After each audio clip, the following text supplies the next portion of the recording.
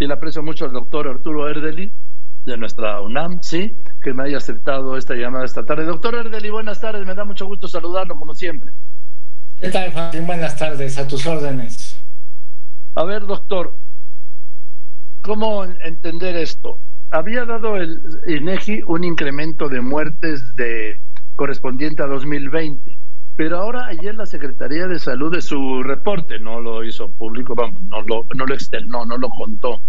Eh, habla de que una revisión con, con todo lo que tiene que ver con base, ¿sí? con, con la información de la base de datos nacional de registro civil, que hay un incremento de 595.262 muertes. Vamos a cerrar cifras, ¿sí? 565.000 muertes del 1 de enero de 2020 al 25 de septiembre, al 25 de septiembre de este año, lo que indica que el, de este total, de este exceso, 426 mil son por COVID. ¿Cómo entender esta cifra que revela la Secretaría de Salud el lunes y la cifra de anoche de 288 mil 711 muertos? Eh, no hay contradicción en las cifras. Esa de 288 mil son casos confirmados, o sea, bueno, en ese caso de funciones confirmadas, es decir, personas que tuvieron acceso a una prueba de COVID, ya, sea de PCR, de antígeno, y que quedó registrado en algún centro de salud, pero no todos los que se enferman de COVID tienen acceso a una prueba. Entonces, por eso es que esta cantidad siempre va a ser menor, pero es la que nos pueden dar diariamente, porque se captura diariamente. Ya posteriormente, en un análisis pues que es un poquito más complicado y más tardado de generar, que son los estudios de exceso de mortalidad, Ahí se analizan las actas de defunción y se ve qué dicen las actas de defunción y si la redacción que ahí viene corresponde a un diagnóstico de COVID. Hay algunas que sí ponen claramente eh, muerte por COVID-19 o por complicaciones de COVID-19. Hay otras que ponen una redacción que ahí un comité de expertos tiene que dictaminar si se entiende o se interpreta como COVID-19. Entonces, por eso es que es, otra fuente de información, pero no hay contradicción entre las cifras. Casos confirmados que pudo tener una prueba, pues sí, 288 mil. Y las cifras que acabas de dar, que por cierto las acaban de actualizar, tú lo dabas hasta el 25 de septiembre, hasta la semana epidemiológica, pero antes de entrar aquí al aire contigo, revisé la página y la acaban de actualizar otra vez y ahorita ya el exceso de defunciones acumulado hasta la semana epidemiológica 40 ya aparece en 621 mil el exceso de funciones total acumulado, de las cuales 436 mil este, ya son asociadas a COVID-19. O sea, estamos hablando de que vamos a rebasar el medio millón de muertes, doctor, en esta tragedia.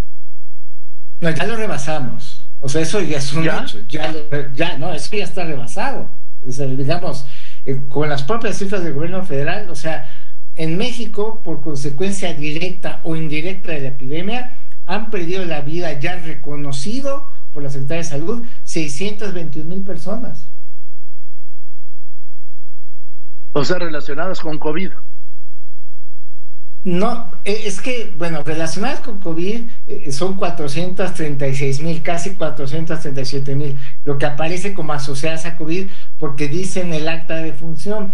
Pero bueno, si alguien ha tenido experiencias de cómo se levantan las actas de defunción en México, pues sabe que, que muchas veces se ponen por las prisas o por la situación complicada, se pone otra cosa que no necesariamente es lo que es. Por eso es que el dato importante es el exceso de funciones por todas las causas todo ese exceso de mortalidad. Es decir, hay 621 mil mexicanos que no habrían perdido la vida si no hubiera habido este eh, eh, de no haber habido este epidemia por COVID-19 en México. Pues qué fuerte, porque esto nos coloca en el primer lugar mundial de muertes, doctor, no en el cuarto. No, porque eh, este es otro dato que hay que tener cuidado. O sea, no puede uno comparar cifras absolutas.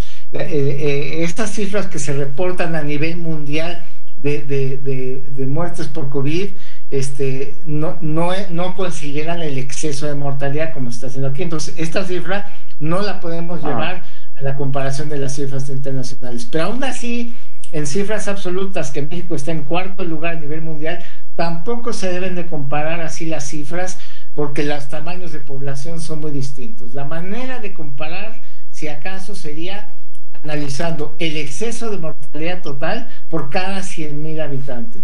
Y en este caso, de acuerdo al tracking que hace The Economist, que creo que lo hace muy bien y con mucha precisión, en este caso México está en lugar 8 del mundo en cuanto a exceso de, mortalidad por cada 100.000 habitantes. Eh, ahora, final, pues sí, porque, a ver, la diferencia, Estados Unidos, que es el primer lugar, tiene el triple de habitantes que México, Brasil, que es el segundo lugar, tiene más del doble, y la India tiene 10 veces los habitantes de México. Así es, por eso para eliminar el efecto, o sea, para realmente hacerlo comparable, hay que comparar exceso total de mortalidad por todas las causas por cada 100.000 habitantes. Y en ese caso, México es el que está en lugar 8, solo hay un país latinoamericano que está peor que México, que es Perú, que está en tercer lugar mundial, el primer lugar se lo lleva Bulgaria, el segundo lo tiene Rusia, Perú en tercero, y luego el segundo país latinoamérico de Latinoamérica con mayor exceso de mortalidad por cada 100.000 habitantes es México. Ahora, estoy hablando con el doctor Arturo Erdeli. Doctor Erdeli, esto va a seguir. Sí, bueno, eh, mientras no esté eh, la totalidad o casi la totalidad de la población eh, no solo de México, sino a nivel mundial, eh, eh, protegida con esquema completo de vacunación, pues se, pueden dar estos repuntes, inevitablemente, ¿no? En el caso de México, bueno, pues hemos tenido algún un avance en, en términos de vacunación. En México, el 48% de la población cuenta con esquema completo de vacunación, el 11% está vacunada a medias, todavía está a la espera de una segunda dosis, y en México hay todavía 51.4 millones de personas que no han recibido ni una sola dosis. ¿Personas de qué edad a qué edad estaría en este 51.4%? De todas las edades, eh, de todas las edades, obviamente, digamos, o sea, ahí se incluyen eh, eh, menores de edad, que son de ahí, son como 38 millones, ¿no? De esos 51.4, 38 son menores de edad y pues, la diferencia serían todavía adultos que por alguna razón no han recibido ninguna sola dosis, ¿no? Estaríamos hablando como de 13 millones. Entonces lo que dijo el doctor López Gatel el, el, martes en Campeche, misión cumplida, doctor. Misión cumplida, señor presidente. Bueno, eh, eh, son, son metas que, eh, ficticias que ellos se inventan para luego decir que las cumplieron, ¿no? O sea, misión cumplida en cuanto a qué. El compromiso del presidente fue que todas las este, personas mayores de edad iban a tener al menos una dosis al cierre de octubre. Eso no ocurrió, fue algo así como el 83% de, de, de todas las personas mayores de edad. No se cumplió la meta del 100%.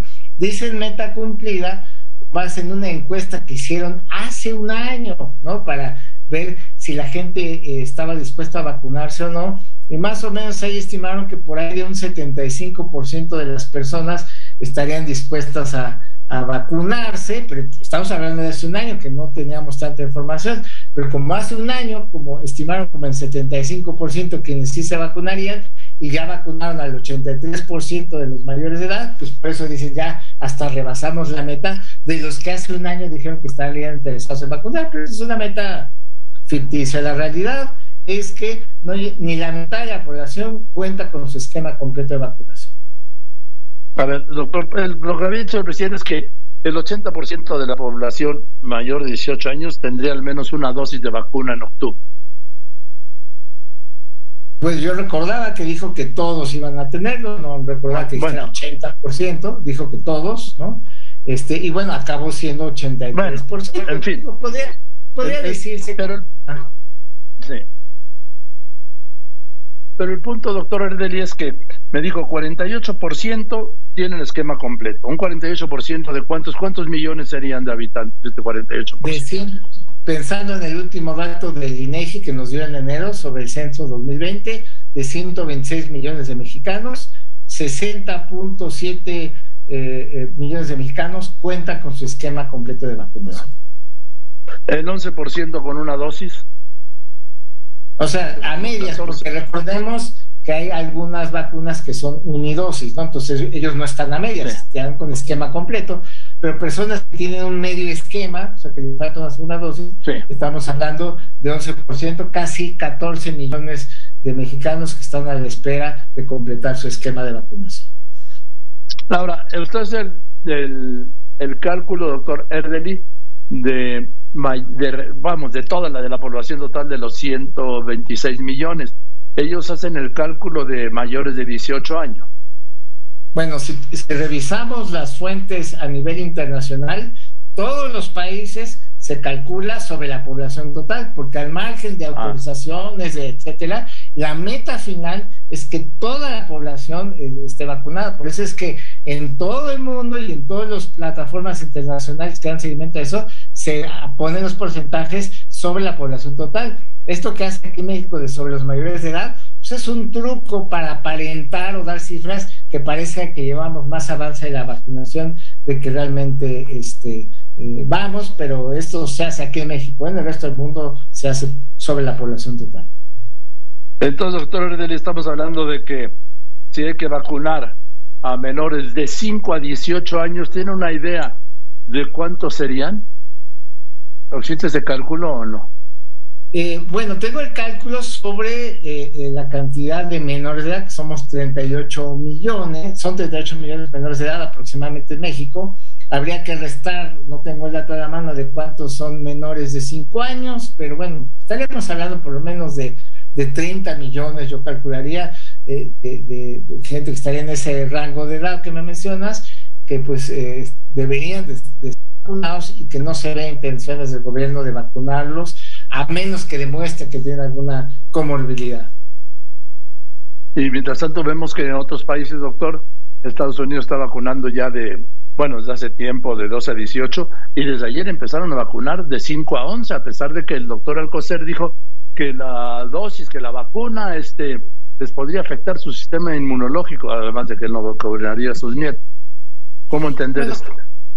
Pues yo creo que ya hubo varios especialistas en México muy reconocidos, médicos, que ya dieron su punto de vista, que eso que dijo el doctor Coser no se sostiene, ¿no? Es, realmente absurdo y simplemente cae dentro de la misma lógica que han seguido tanto él como el subsecretario López Gatel, de salir a decir o a justificar médicamente los deseos políticos del presidente. Y creo que es muy claro que simplemente este gobierno no quiere gastar en vacunas en menores de edad, entonces pues sus, subalternos, en este caso el secretario de salud y el subsecretario, pues se encargan de tratar de dar explicaciones que suenen coherentes aunque no tengan fundamento alguno. Entonces no somos un ejemplo mundial, como dijo el presidente, doctor. No, ni tampoco somos el peor ejemplo, hay que decirlo. O sea, en, en avance de vacunación, vamos, digamos, en, en proporción de esta población, pues como en el promedio mundial, entonces no, somos un ejemplo, no somos el peor ejemplo en vacunación, somos término medio, yo diría.